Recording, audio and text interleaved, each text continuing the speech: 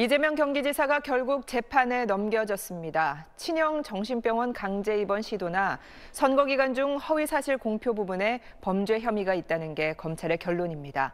이 지사는 법정의 진실 규명을 맡기고 도정에만 집중하겠다고 밝혔습니다. 신정은 기자입니다.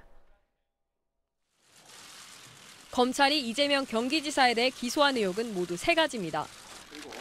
먼저 친형 강제 입원 시도 의혹과 관련해 성남시장 시절 친형을 정신병원에 강제 입원시키려는 과정에 권한을 남용했다고 판단했습니다. 담당 공무원들의 반대에도 계속 지시했고 이를 따르지 않으면 인사 조치했다는 겁니다.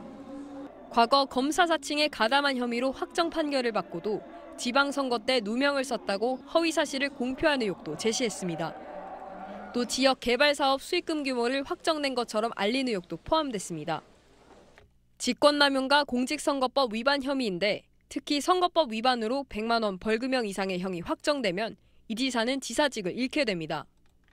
이 지사는 기자회견을 열고 안타깝지만 예상했던 결론이라며 개의치 않겠다는 뜻을 분명히 했습니다. 이제 기소된 사건의 진실 규명은 법정에 맡기고 음, 지금부터 오로지 도정에만 집중하겠습니다.